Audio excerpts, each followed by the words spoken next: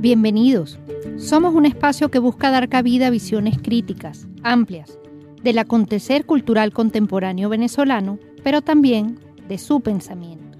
Desde la razón queremos leer, escuchar, ver, palpar lo que pasa en nuestro tiempo, adentro y afuera del país. Este programa es posible gracias al equipo conformado por Isabel Iturriza, Inmaculada Sebastiano, Carlos Javier Virgües, Juan Juárez, Fernando Camacho, Giancarlos Caraballo, Sachenka García y Ricardo Ramírez Requena. También puedes seguir la transmisión en vivo en www.mundour.com. Debes buscar la pestaña de Radio en Vivo, bajar y darle clic en Unión Radio 90.3.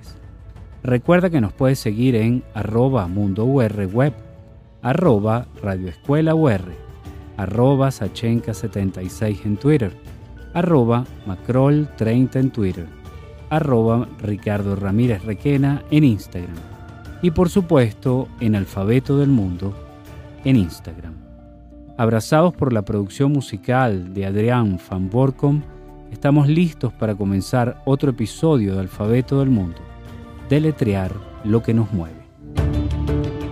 Hoy hablamos de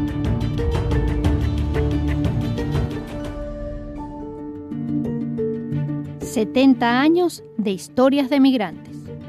70 años de historias de migrantes reúne una serie de destacados textos sobre aquellos que fueron llegando al país desde diferentes lugares del mundo, y también la ruta inversa, la de millones de venezolanos que han emprendido el camino de emigrar desde hace dos décadas. Hablamos de un trabajo compilatorio acometido por Sergio Dávar, con la colaboración de Carlos Ortiz como editor adjunto. Este libro es una edición de Vanesco, con editorial singular, y forma parte de una serie que Vanesco viene auspiciando desde hace ya varios años, vinculada con la memoria del país en clave periodística. Hablar de migración es siempre complejo. Presenta zonas de gris, tristezas, nostalgias, dejar un mundo atrás que ya no ofrece para quien se va oportunidades.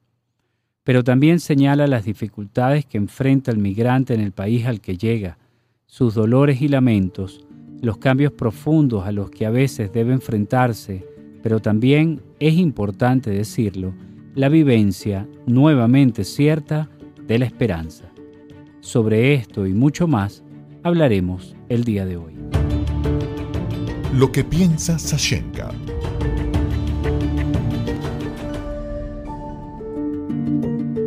Bueno, Ricardo, hoy eh, vamos a conversar sobre un tema que nos toca siempre. Desde hace unos años ha sido un tema recurrente, un, un tópico, además en todos los ámbitos de la sociedad venezolana. Por supuesto, la cultura, la literatura, este, pero yo creo que está en todos los niveles y es eh, la migración. Nosotros fuimos por mucho tiempo receptores de migrantes, ahora la historia cambió y eh, seguramente también en su momento la gente que, que migró, que vino a Venezuela, pasó por muchas dificultades, no podemos eh, saberlos, porque siento que las historias cuando ya llegan a nosotros eh, pasaron por ese filtro de la memoria que las hace felices. Eh, en cambio, nuestros procesos migratorios que están tan cercanos, tan a flor de piel eh, y, en unas condiciones de adversidad muy, muy claras, eh, pues nos resultan muchas veces agridulces todavía. Sin embargo, creo que lo que rescato, además esta es una colección, es el título, decimoprimer título que lanza Vanesco en alianza ya con, con Editorial Singular de estos 70 años de periodismo. Es una mirada del periodismo eh, desde diferentes ángulos y eh, bueno, esta vez va a hablar de este tema. Y es importante también porque, mm, como menciona eh, Sergio Dávar en la nota editorial, el arqueo de fuentes ahorita es extremadamente complicado porque los centros hemerográficos, los archivos de los periódicos y las bibliotecas no son lo que eran. Yo trabajé muchos años en la, extinta cadena Capriles y el archivo de, la cadena, el archivo fotográfico, el archivo hemerográfico era, no, hay palabras para decir toda la historia que uno encontraba en esos espacios. Estoy segura que en otros diarios también, como el Nacional, podría ser así. Eh, pero bueno, dentro de esta debacle que vivimos, no es tan fácil ya acceder a esa fuente pero también es muy valioso que se haga el esfuerzo de llegar a ella. Entonces creo que bueno, hoy vamos a hablar de, un tema sensible, de un acierto editorial también eh, y del proceso además de, convertir todas estas emociones, memorias, este, encuentros y desencuentros en un libro y que además va a estar muy pronto disponible. Así es. Es además un libro que recopila algunos textos emblemáticos publicados en su momento y suma otra serie de textos diferentes. Al fin y al cabo, es como hemos leído la experiencia migrante desde Venezuela al recibir personas y al eh, abrir, por decirlo así, con puertas para que otros puedan salir. En algunos casos,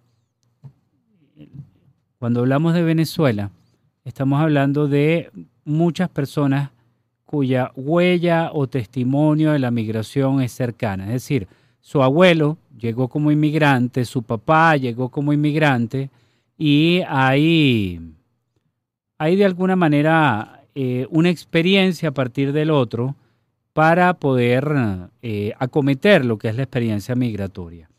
Eh, sienten que hay un vínculo con, este lugar, con Venezuela, pero a la vez eh, hay como más facilidad para emprender la marcha. Por otro lado, eh, está el que puede llegar a pensar esto, pero en verdad se da cuenta que de repente es completamente italiano, pero la ciudad en donde creció aquí, en Maracaibo, o Mérida o Caracas le dio tan hondo que se siente total y absolutamente criollo, ¿no? Porque no es solamente un elemento de genética o de herencia, es también una decisión, al fin y al cabo, ¿no? Eh, una conciencia de.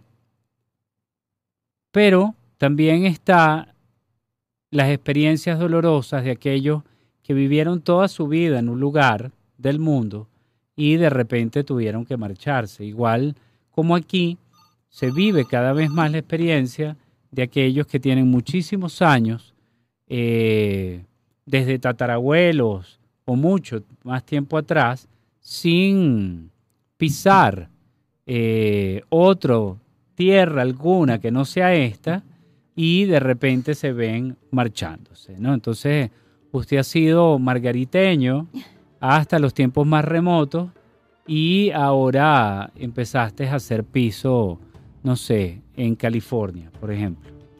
Entonces, son experiencias que yo creo que se logran construir en este trabajo compilatorio y que muestra esa zona de gris. Es, es muy fácil decir, no debemos irnos o debemos irnos todos.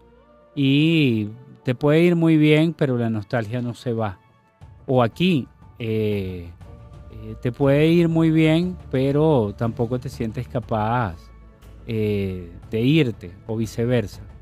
Yo creo que este es un libro que muchas personas van a apreciar. Ya tenemos varios años en donde se viene trabajando lo que es la experiencia de la inmigración y de la migración, pero este no es un libro más sobre el tema. Es un libro que trata de historias, específicas, particulares y en muchos casos de textos de grandes plumas. Entonces espero que lo puedan disfrutar mucho y vamos a ver qué más podemos indagar sobre esta publicación. ¿Con quién conversamos? Con Sergio Dávar. Sergio Dávar es periodista con licenciatura en literatura hispanoamericana. Ha sido director del Nacional y creador de suplementos dominicales de diversos medios. Ha escrito los libros Sangre, Dioses, Mudanzas, Debate 2004 y Gente que necesita terapia. Mondadori 2006. Trabajó durante mucho tiempo como scout de Random House Mondadori, ahora Random House Penguin en Venezuela. En 2006 funda la revista El Librero, única en su concepto en América Latina. De distribución gratuita a la manera de las track magazines americanas, esta publicación mensual reseñaba los libros que circulaban en Venezuela, junto con entrevistas y reportajes sobre temas editoriales. El librero sobrevivió ocho años, incluso con una excelente edición colombiana. Los problemas del acceso al papel y la inflación creciente que castigaron la economía venezolana hicieron inviable su continuación. Además, es director de Editorial Dávar, donde se empiezan a publicar libros de ensayo y reportaje periodístico, junto con memorias políticas. También otros géneros, como novelas, historias personales, recuperaciones y manuales. Editorial Dávar ha publicado hasta la fecha 110 títulos. Hola Sergio, bienvenido a Alfabeto del Mundo. Bienvenido Sergio. Muchas gracias. Gracias por estar. Además, eres nuestro primer invitado en estudio y eso Mm, ya es especial. qué bien, qué bien, qué bueno. Eh, fíjate, yo estaba mm, revisando el libro y en la nota editorial tú mencionas las dificultades de acceso a la información como parte de la casi desaparición de los archivos hemerográficos y de consulta. ¿Cómo emprendieron ese camino de búsqueda y arqueo? Sí, está muy bien. Buena pregunta porque eso viene ocurriendo ya con todos los libros que hemos hecho con, con esta colección desde allá hace unos años. No, no es solo este, sino que de alguna manera es casi ya una advertencia que venimos poniendo continua, porque, eh, bueno, el año de la pandemia ni hablar, y, y así. Pero, pero más allá de la pandemia, también en general hay como una pandemia venezolana, ¿no? que es particular a la pandemia universal y es la pandemia cultural, el tema de cómo se ha ido devastando todo y donde tú, de tener una biblioteca nacional que funcionaba, no voy a decir que perfecta, pero que funcionaba, a esto que ya es más complicado y que cuesta incluso hasta definirlo, ¿no? Eh, y así la hemeroteca u otras hemerotecas, ¿no? Que cerraron, que ya no tienen dinero para poder mantener eh, las máquinas, en fin, diferentes cosas. Entonces, dicho eso, eh, hemos tenido que trabajar con las uñas, hemos tenido que buscar archivos de medios, hemos tenido que, eh, por ejemplo, en una época existía un archivo como el del Nacional o el de la, el, bloque de armas, que tenía un muy buen archivo. Después hemos conseguido, por ejemplo, eh, gente que guarda colecciones de o de periódicos o de revistas y entonces bibliotecas privadas, en fin, hemos tenido que hacer un trabajito como arqueológico, diría yo, aunque la palabra suena grande, para poder rescatar materiales que, y, y por supuesto, un tema de memoria, que es un caso divertido con este proyecto porque nos ha pas- a mí me ha pasado de recordar en los años 70, por ejemplo, que es un- una fecha demasiado vieja, eh, un texto de un periodista. Y decir, oye, en esta antología que estamos haciendo de, textos policiales, quedaría muy bien una historia que hubo en Parque Central de una muchacha que era secretaria de una oficina y la, la matan los que eran lo- los jefes de la oficina y luego su cuerpo aparece desmembrado por San Antonio de los Altos. Eso es un caso muy, muy fuerte en los años 70, tanto que José Balsa hace un texto un poco alrededor de lo que ocurrió allí. Lo- lo- yo lo recuerdo particularmente porque además esa era una época muy eh, importante para los exilados del sur. Los que eran jefes de esa oficina eran unos ex militares argentinos Mm, que, bueno, resultaron ser quienes hicieron esto y luego cuando los meten presos, en la entrevista que le hacen en el diario de Caracas, que era extraordinaria, eh, él era una especie de personaje medio zen. Cuando, cuando el periodista lo va a entrevistar, estaba en el piso sentado como en una pose de hacer como meditación. Bueno, todo eso a mí me llamó mucho la atención y hablé con él, que se llama Enrique Rondón, que es un gran amigo y gran periodista. Y él no se acordaba de la nota. Entonces, a veces, eh, y es comprensible, para quien hace 100 notas en un año, acordarse de todos los temas es muy difícil. Pero ese era un poco el trabajo que hicimos, de ir recordando, de ir buscando, de hacerle seguimiento. Cuando hicimos la, uno, uno que se llamaba Conversaciones con eh, escritores que estuvieron de paso, a nosotros nos dijeron, mira, acá estuvo Hemingway y hay una entrevista que le hicieron en el Nacional. Nunca la conseguimos. Esos misterios así rarísimos, pero que bueno, que, que, están. Estaba, por supuesto, la entrevista de Faulkner que le hizo Margarita D'Amico. O sea, había otras entrevistas, pero esa no, no la, nunca dimos con ella, ¿no? En fin, ese es un poco el trabajo de este tipo de libro que implica, bueno, una vez que te decides el tema del año, bueno, cómo vas a lograr conseguir cada, una de los, cada uno de los materiales que se aproximan para incluirlos, pues, ¿no? No es fácil, pero ha sido por otro lado fascinante porque nos ha llevado por vericuetos muy curiosos y eh, nos hemos divertido siempre mucho en, en, la búsqueda, en, bueno, luego hay que transcribir, luego hay que hacer todo un trabajo para que podamos llegar, pero creemos que es un libro que esta colección lo que le ofrece a un lector es acercarse a textos que de otra manera no podría. Así es, así es. Sergio, las migraciones definieron a la modernidad, eh, y en tiempos posteriores pues continúan siendo un elemento importante que, que, marca muchísimas cosas. Ahora, en el caso de Venezuela y a partir de los textos compilados, ¿hay migraciones mejores que otras? ¿Es mejor la migración italiana que llegó a Venezuela que la colombiana? ¿Cómo, cómo es leída, cómo es percibida eh, la llegada de unos gentilicios en diferencias con otros? Y cómo la están viviendo el venezolano al partir de acá, ¿verdad?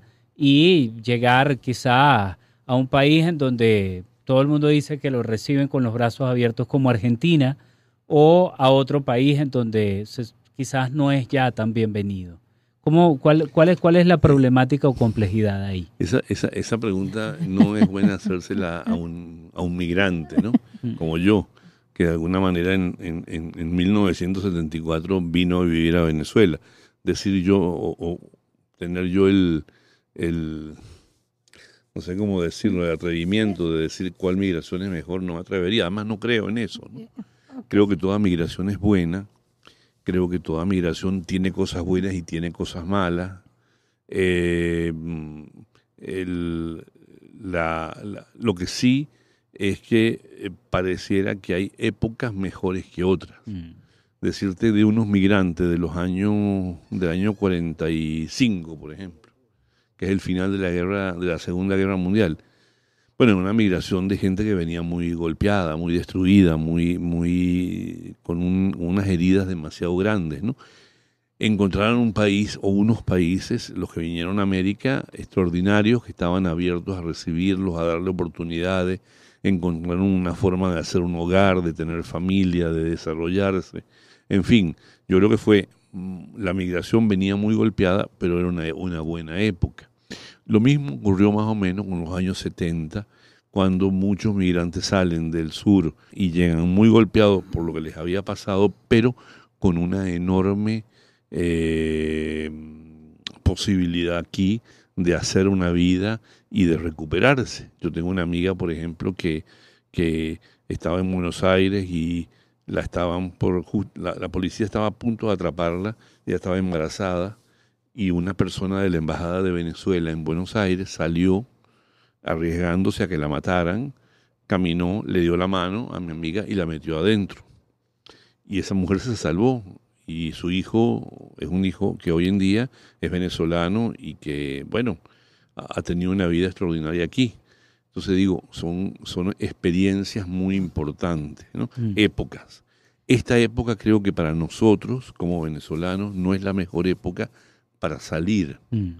porque estamos viendo que a pesar de que hay algunas, algunas personas que han podido salir y que tenían recursos como para poder utilizar aviones y, encontrar una nacionalidad o una residencia o lo que fuere que los recibe, mucha gente está saliendo por la vía más terrible, que es la vía de, caminar, de cruzar zonas de- del, planeta muy devastadas y muy, además devastadas no solamente por el hecho de que sea un desierto, sino devastadas por la corrosión moral de gente que les quiere cobrar fortuna por hacerlos pasar un trayecto, viola a las mujeres, mata a los niños.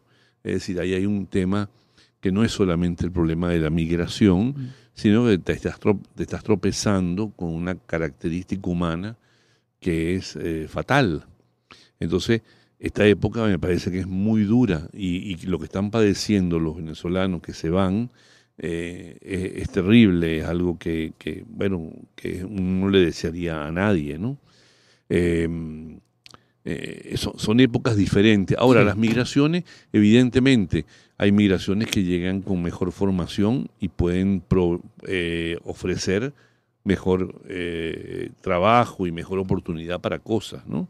En, en Argentina, por ejemplo, llegaron en los años 40 muchos mecánicos de la aviación alemana que habían estado con el nazismo, pero que eh, como Perón era tan hábil, recibió a los judíos, pero también a los nazis. Sí. Eh, bueno, eso- esa gente desarrolló todo lo que fue la mecánica argentina en una forma extraordinaria, Mm. que no hubiera habido manera de hacerlo. Hubo fábricas de motos que se crearon con, con mecánicos alemanes que habían llegado de la Segunda Guerra Mundial, que eran tipo de primera línea. Eh, y así, hay, hay, hay gente, eh, y yo sé que han habido proyectos donde han traído migrantes en los años 50 y 60 a Venezuela, tratando de traer gente que fuera muy apta para. A mí eso me da un poquito de miedo, Sí. porque es como que estás buscando al, al- al- al ser humano perfecto, ¿no? Y eso, bueno, no, yo tengo, tengo mis dudas sobre eso. Pero en todo caso, creo que, que, bueno, yo, yo, yo en general pienso que toda migración está eh, bienvenida. Y, y te voy a contar una pequeña anécdota que tiene que ver con Biden, con el presidente. Biden. No sé si- hay- una anécdota que él contó, creo que lo contó en un libro o, en un texto o en algo, cuando en Corea se desapareció un avión. eh, bueno, eso fue una cosa que pasó, en- se, se desapareció en el sudeste asiático, no conseguían aquel avión, no conseguían la caja negra. Entonces él le pregunta, Biden le pregunta al presidente, mire, ¿y, cómo les está yendo? Bueno, le dice, estamos, estamos buscando la caja negra. Ah, no, le- Biden le pregunta, ¿cómo les, les va con la búsqueda de la caja negra? Bueno, hay una que no conseguimos. Él dice que es la del avión. Pero, pero hay otra que hemos conseguido porque quisiéramos descifrar.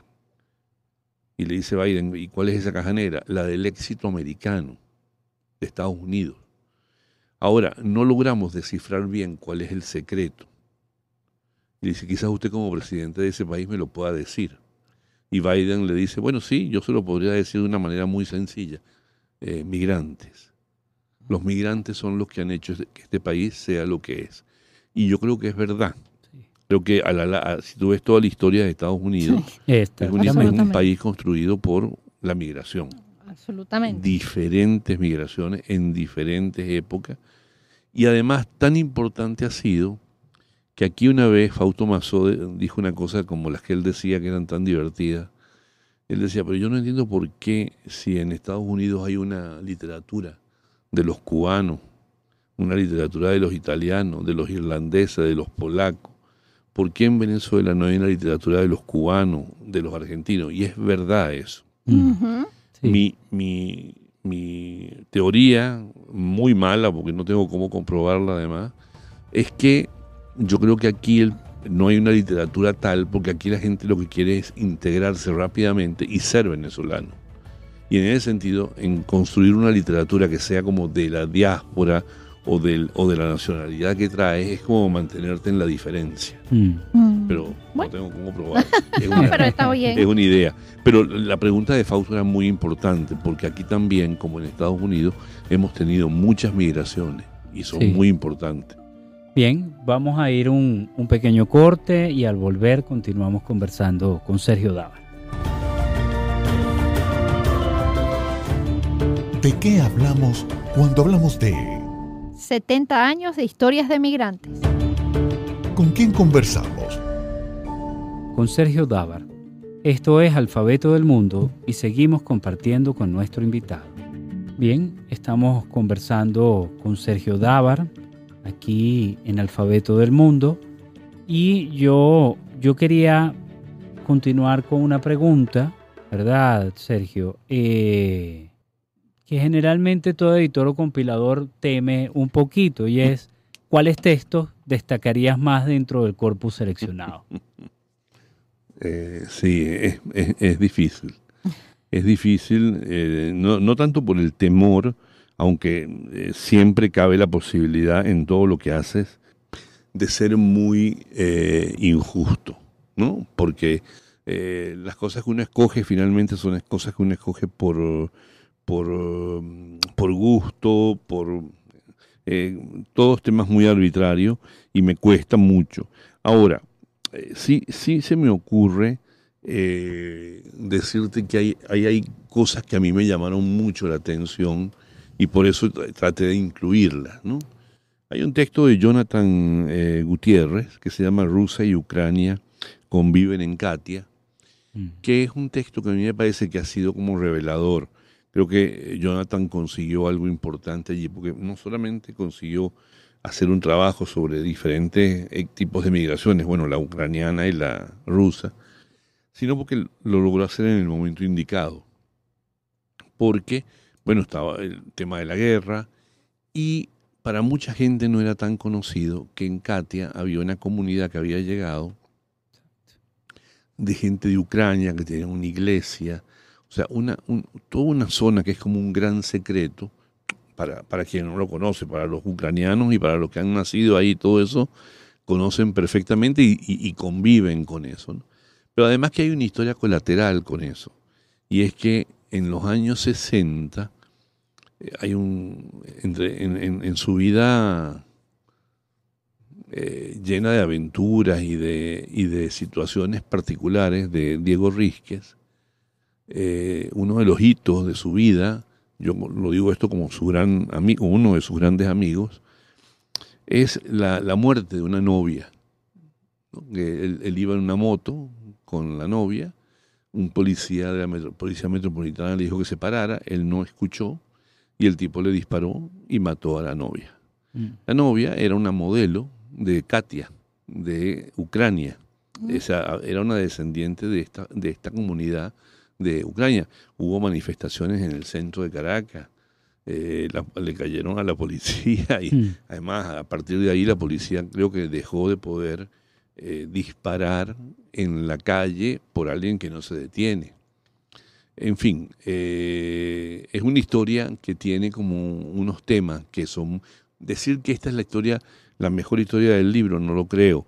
Lo que digo es que ahí hay una iluminación sobre unas cosas poco conocidas que a mí me parece que están muy bien y que Jonathan, con su agudeza y su, eh, digamos, su trabajo muy bien hecho, logró eh, hacer algo que está muy bien.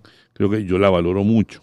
Eh, hay otra historia, fíjate tú que esa historia salió, y esto, esto que te estoy diciendo es que a pesar de que el libro empieza con textos que vienen de el Nacional, el Universal, periódicos tradicionales. Tradicionales, sí. Al final, el libro es más la suma de los portales nuevos. Medios digitales, sí. El que te estoy diciendo es historias que, no, eh, historias que laten. Historias que laten. Y eh, otro que salió en 5.8, este portal de Canadá, bueno, está en Canadá, pero es venezolano, en fin, universal. ¿Cómo estamos? Sí. Ahí hay un texto de una periodista eh, que yo valoro mucho, que es, muy joven y muy inquieta, que se llama Kaoru Yonekura, una joven venezolana japonesa, y Rafael Osío, que es el, editor de esta, de esta página. Sí. Cuando tu, árbol genealógico lo sacas de raíz. Y es de alguna manera como hubo una migración, pero que no fue de una persona, sino de toda una familia, y es como un árbol genealógico que va a ir a mutar a otro país y a crecer en otro país. ¿no? Mm. Acá había uno y se fue a otra parte. Ese texto también a mí me ha llamado mucho la atención porque me parece muy interesante. Ahora, eh, hemos, hemos rescatado, como te decía, cosas eh, muy de antes.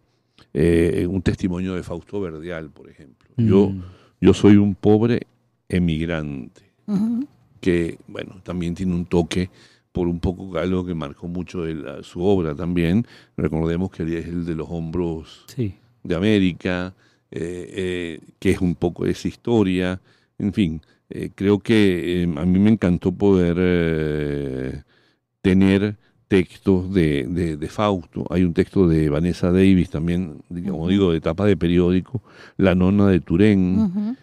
En fin, eh, hay textos muy eh, valiosos por la firma, Cabrujas, eh, Sí. y, y así. Pero digamos, eh, el libro es un, es un caleidoscopio de historias que refieren dos cosas que a mí me parecen importantes. Y ahí sí podrías tal vez marcar diferencias. Una migración que vino a Venezuela, los que llegaron, que se encontraron con un país realmente extraordinario, país de lujo, que los, que los recibió con los brazos abiertos y que les dio oportunidades extraordinarias. Acá hubo gente que llegó y en una sola generación pudo, porque tenía unas habilidades importantes, convertirse en eh, una persona de, de mucho dinero, con mucho Sí. éxito. El caso Hans Neumann, Exacto. un hombre que había estado escondido en la Segunda Guerra Mundial en Berlín con una doble nacionalidad trabajando para una fábrica de, de- de tanques y viene para Venezuela y se convierte en el gran magnate venezolano, ¿no? Eh, con mucho trabajo, con, con un esfuerzo enorme, con una habilidad y una inteligencia muy grande, pero digo, logra hacer lo que él hizo, ¿no? Entonces tú dices, wow, este país recibió una gente y le dio oportunidades. Y luego tenemos una segunda parte un poco más dolorosa, que como yo digo, una nota editorial, que es de la gente que se va.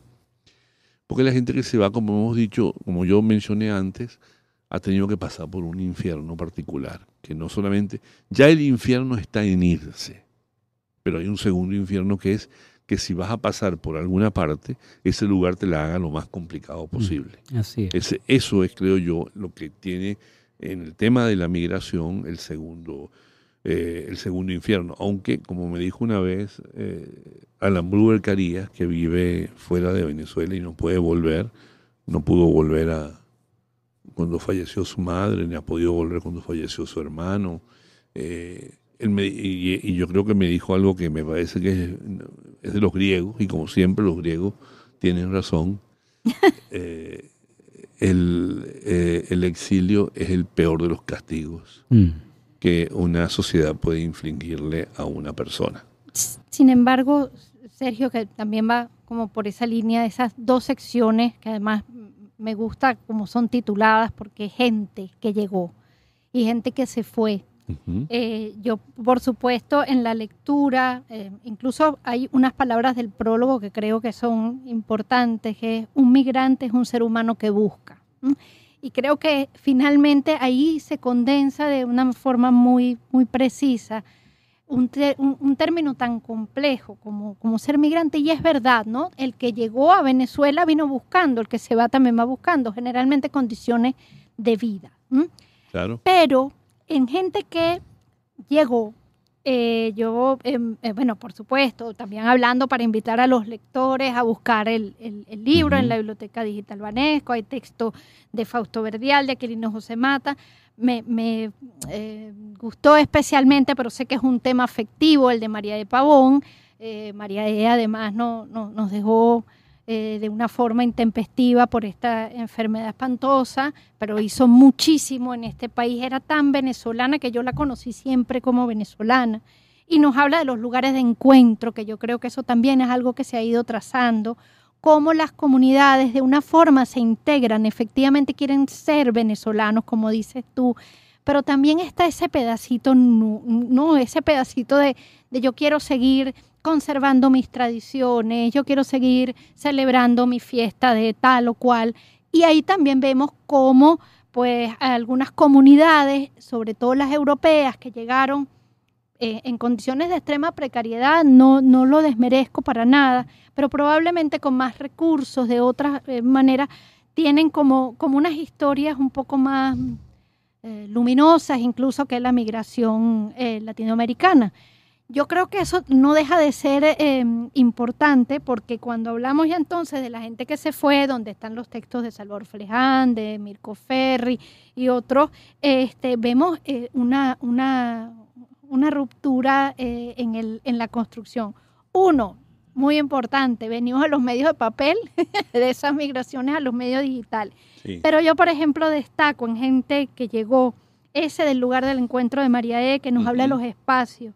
Exiliados de José Ignacio Cabrujas, bueno, porque a Cabrujas siempre va a ser un gusto leerlo y que esté a la mano de los, Muy jo- inteligente. de los jóvenes también, que habla de sus dos familias. Pero a mí, por ejemplo, este, este texto de, de Sam Shepard, de, me Del pareció el de. Blanquestreponi, el basquetbolista, Eh, Perdón, el Sí, basquetbolista. que, que dice algo que a mí me parece genial. Para todas las personas pobres del mundo, el deporte es una salida de la maldad. De esos pequeños textos que uno va encontrando. Claro. Yo me acuerdo, Sam Shepard era para una, una institución, bueno, lo era efectivamente, ¿no? Pero es las voces, encontrar otra vez textos de Blanca Estreponi, encontrar otra vez textos de María E., encontrar textos de Aquilino José Mata, que eran los textos que yo leía. Bueno, tú también, Ricardo, por uno chiquito Sí, leía el cuerpo C del Nacional o todo esto, ¿no? Y después, ¡pum!, nos vamos a gente que se fue. Y claro, nos toca de otra manera. El texto de, también a quien quiero muchísimo, de Maite Espinaza me fascina, que se llama Cataluña siempre estuvo allí. Eh, y el, hay, un, hay un texto que ese también lo quería mencionar y me gustaría que lo conversaran también, no sé si ustedes, seguro Sergio sí, el de un, un librero uruguayo que es como de la casa, que es ese homenaje de Ubaldo Arrieta al enorme Esteban Brasesco, a quien Sí, le debo Sí. buena parte de mi biblioteca, ¿no? Entonces, eso, eso yo lo veo como con mucha luz. Y, y después, claro, me, me, me, me empieza a doler un poco la segunda parte, ¿no? Cuando ya hablamos esto del li- limbo de una familia rota, o sea, ya hay los, los títulos, ¿no? Empiezan a darnos Sí. abuelos que se quedan con los niños. Ese texto es, es rudo, el de los abuelos que se quedan con los niños. sí. El del caso de Trinidad, el de los 16 de Trinidad. de Entonces, ahí, después de todo este recuento, es lo que yo digo, o sea, hay, hay, una, hay, hay una diferencia grande. ¿Cómo entonces, como editores, construyes estas secciones buscando que sea un libro, obviamente, redondo, eh, que, que tenga aire además entre sus textos? Ahí, cuéntanos de eso. Sí, bueno, eh, eh, mi, mi percepción siempre, Sashenka, es que eh, este es un libro imperfecto, porque no, no, no, no siento que logremos hacerlo redondo en tanto que hay injusticias, hay, hay, mm, eh, hay textos que no conseguimos, hay épocas que no son tan fáciles. Otra de las curiosidades que tiene este tipo de antología es que nos propusimos una época y no siempre hemos podido cumplir porque dependiendo del género, en una época ese género no se hacía tanto en el periodismo como se hace hoy. Ajá. Mm. El perfil o la crónica es más de esta época. Eh, los jóvenes lo han, lo han impulsado, han estudiado, han- se, han, se han formado en eso y, hacen unas crónicas extraordinarias que además eh, este es un continente que tiene una larga tradición de la crónica por la crónica de India y todo esto. Entonces, bueno, pero curiosamente si tú buscas una crónica como las que hoy hay hoy en, en el, en, el, en, el periodismo digital en los años 50 o 40 y no las consigues.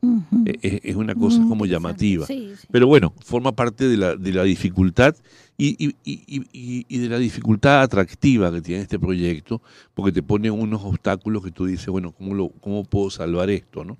Ahora, eh, evidentemente, lo que tú dices es una lectura muy inteligente, Sashenka, sobre estas dos partes, lo que hay. También hay, hay, hay una nostalgia de uno que se involucra con esto y uno dice, esto yo lo conocí, esto yo lo leí, esto yo lo viví. Y hay otras cosas que son menos conocidas o más duras. Eh, porque bueno, el tema de, de, de cómo la- lo, de lo de Trinidad, por ejemplo, es un espanto de historia, ¿no? Sí. Entonces eh, hay que tener el relato de eso porque hay que dejar testimonio y tiene que la gente saber, pero es una historia muy terrible, ¿no?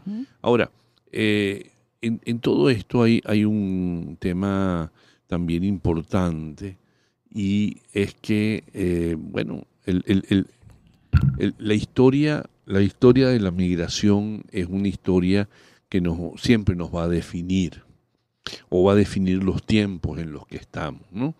Y, y, bueno, lo importante es que podamos recordar y podamos tener noticias. Me encanta que tú tengas noticias, digamos, o que te recuerdes historias como las de Brasesco, que es una historia que parece ya hoy en día podría ser parte de una serie, eh, o, o, de otras historias que hay allí que son eh, muy interesantes, pero eh, lo que quiero decir es que, finalmente va, a haber siempre un, ejercicio de de qué me recuerdo yo más viendo esto y diciendo ese caso y lo conocimos, ese caso se discutió en mi casa, eh, lo, contamos mucho, lo hablamos mucho y todo eso, ¿no?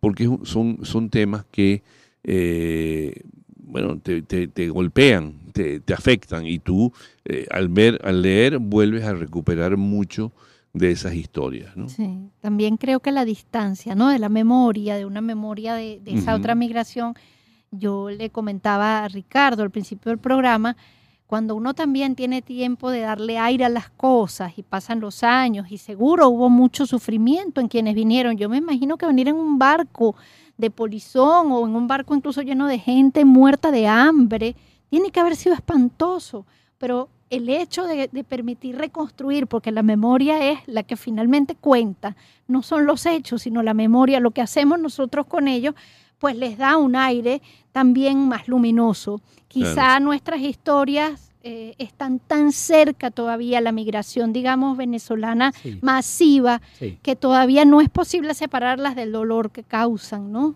No sé, ¿qué piensan ustedes? Yo, yo creo que tiene, tiene mucho que ver esa cercanía. Falta un poco la distancia en el tiempo que muchas veces idealiza, ¿verdad? Ciertos momentos pero yo lo que creo es que ha suavizado un poco las experiencias del dolor. También porque hay unos protagonistas que en muchos casos ya no están. Entonces es ya la memoria de los hijos a la hora de, trabajar o transmitir esto. Lo que yo sí creo, y eso es una de las cosas más valiosas que ofrece este libro, es que quien ha migrado en este tiempo, quien tiene pensado migrar en este tiempo, tiene en este libro lecciones y aprendizajes muy interesantes. Eh, hay otros que también salieron, hay otros que vinieron, que tienen muy vivo lo que puede ser esa experiencia y eh, creo que pueden aprender mucho de eso, eh, desde una lección de humildad y desde el reconocimiento de uno más de los aportes de la inmigración a este país viene siendo ahora preparar a los otros para lo que significa la experiencia de partir. Y yo creo que este libro tiene todo eso. Sí, yo estoy totalmente de acuerdo y además me, atrevo a decir algo más, que el, antes, quizás hace mucho tiempo, la experiencia del migrante era más eh, difícil de entender, había pocos y quizás, bueno, eran como casos muy raros, pero con el tiempo la migración nos ha ido tocando a todos.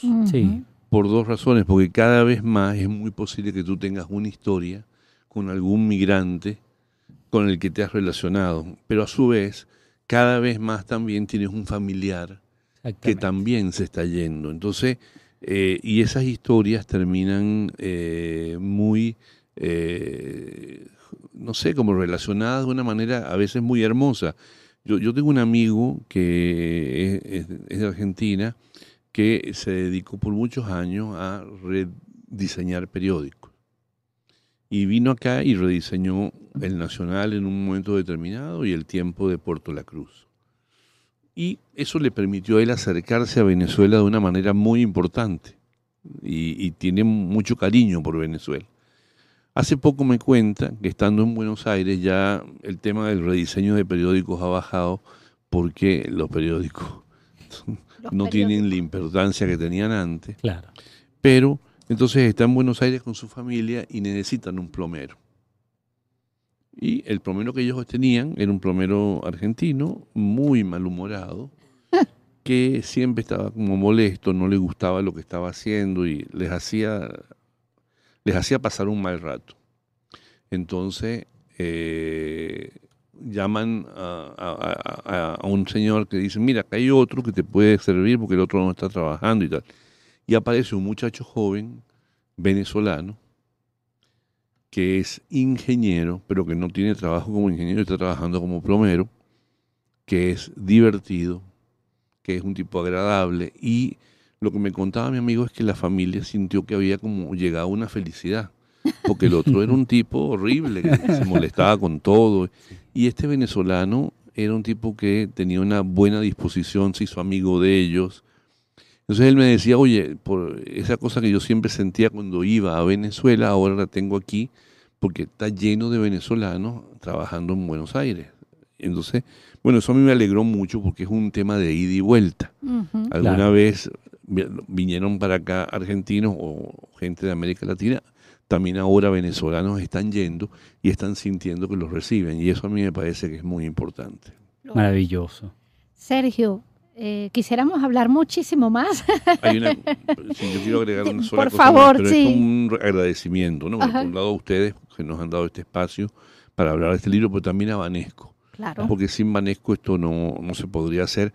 Y no es un mero trámite, vamos a decir, corporativo el que estoy haciendo.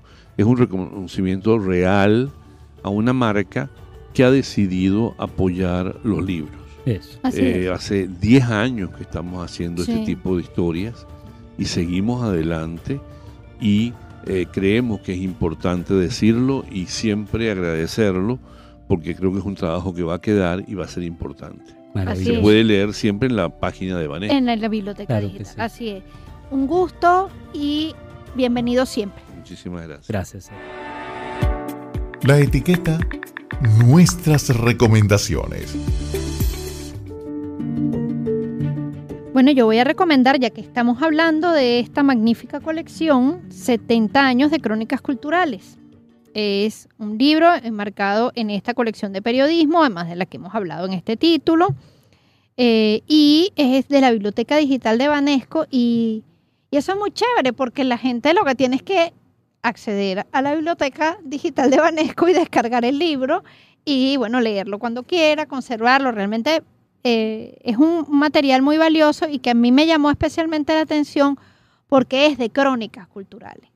Y la crónica cultural que tanto brilló, ahorita está, digamos que un poco discreta, porque sí hay gente que todavía insiste, pero no sé, quizás ahí en- buscándonos en la memoria podemos reactivar un género que es tan importante para el país. Y bueno, en, la misma serie de la Biblioteca Digital Banesco, 70 años de entrevistas en Venezuela, eh, está cumpliendo 10 años de publicado, eh, la coordinó Rafael Ocío Cabrice, ¿verdad? Ahorita en Montreal, en Canadá. A mí me parece que hay una selección muy seria de lo que es la entrevista, que es todo un arte, y que siento que también se ha visto relegada generalmente por razón de espacio en los diferentes medios que pueda haber. O sea, una, una, una entrevista de largo aliento es muy difícil que el medio te diga, bueno, sí, vamos a hacerla. No, corta aquí, corta allá. Y, y aquí por lo menos se recopila esa, ese tiempo invaluable en la historia del país. En el próximo encuentro, 125 aniversario del natalicio de Mario Briceño Iragorri. Y tendremos como invitada a Beatriz Briceño Picón. Este programa es posible gracias al equipo conformado por Isabel Iturriza, Inmaculada Sebastiano, Carlos Javier Virgües, Juan Juárez, Fernando Camacho, Giancarlos Caraballo, Ricardo Ramírez Requena y Sachenka García. Todos los programas están disponibles en el canal de YouTube de Unión Radio Cultural. El lunes siguiente a su transmisión radial. Recuerda que nos puedes seguir en arroba mundo UR web, arroba Radio Escuela UR, arroba Sachenka76 en Twitter, arroba Macrol30 en Twitter, arroba Ricardo Ramírez Requena en Instagram y la cuenta del programa, arroba Alfabeto del Mundo en Instagram. Somos Unión Radio Cultural y la Radio Escuela de Unión Radio.